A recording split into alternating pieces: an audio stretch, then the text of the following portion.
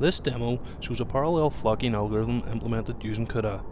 It was designed as an experiment to evaluate the potential of CUDA for game processing tasks, as GPU computing will be integral to development going forward.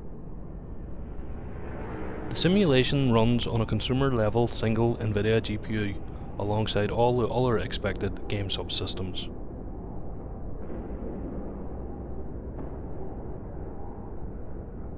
We have over 4,000 active aircraft in this scene. The simulation feeds into the graphics system by determining level of detail and shadow cascade selection for each aircraft and utilises geometry instancing for minimal draw calls.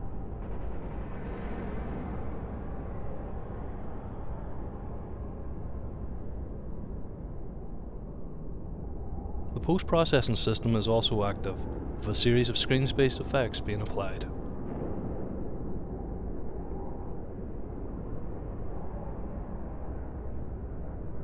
All lighting and shadowing in the scene is completely dynamic, allowing us to attach spotlights to each plane.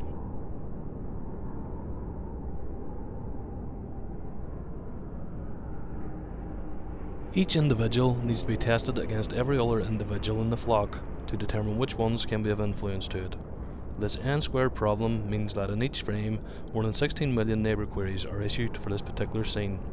Examining and responding to all these positions and velocities results in realistic flocking.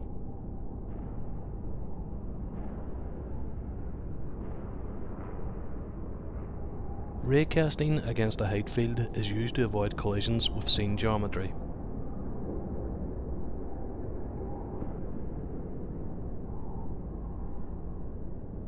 Team behaviours can be invoked, whereby groups within the flock can focus on dynamic targets.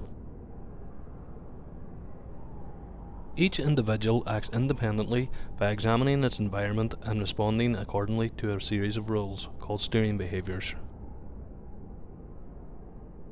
Dynamic obstacles can also be taken into account when steering. The targeting behaviour can be precisely fine-tuned, with each individual being assigned a destination goal.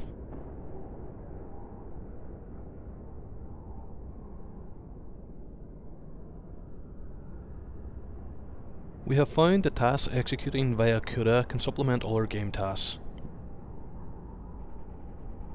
With OpenCL and DX11 compute shaders on the horizon, taking advantage of the GPU for a wide range of tasks will provide interesting game development opportunities.